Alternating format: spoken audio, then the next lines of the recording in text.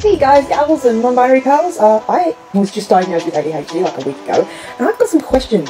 Well, hello there. I got your tag, and congrats on your recent diagnosis. Welcome to the Squirrel Gang. What kind of question have you got for me? My psychologist is like, maybe you can take meds. I don't know that I want to take meds. I don't know what the meds do. Does this help? Does this change who you are? Does it does it take away these good things? All right, I actually get asked that one a lot, so let's talk about it. Standard disclaimer I am not a doctor, I am not a professional. And even if I was, you should not be taking medical advice from some stranger on the internet. I think that goes back to one of those kindergarten sandbox rules. I digress. When it comes to any kind of a medication for ADHD, I am always going to be one that says it's a personal choice. Some people feel like they have the coping strategies and the methods that they need already in place. And that's fine. If that works for you, great. Run with it. But some people don't have that. And that's where things like medication may be an option. Now, that being said, it should never be viewed as some kind of a magic wand or a It's not. It should be viewed for what it is another tool in our toolbox. The entire purpose when it comes to medication for ADHD is to improve systems of attention. It's supposed to help you keep your focus. In a lot of cases, it helps quiet the mind so that your brain's not running rampant all over the damn place and you can actually focus on the tasks that you need to. Do the medications change you? No, they shouldn't.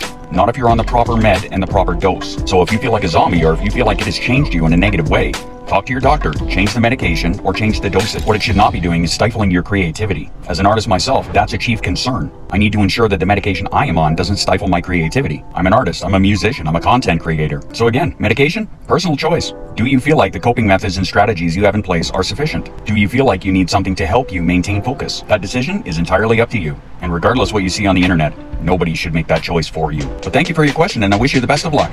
Let me know how it goes.